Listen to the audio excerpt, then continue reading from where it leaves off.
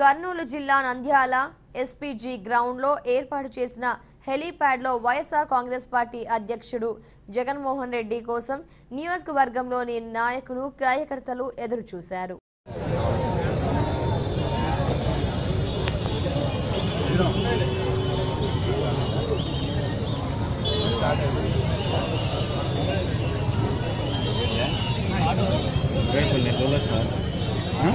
ఉన్నారు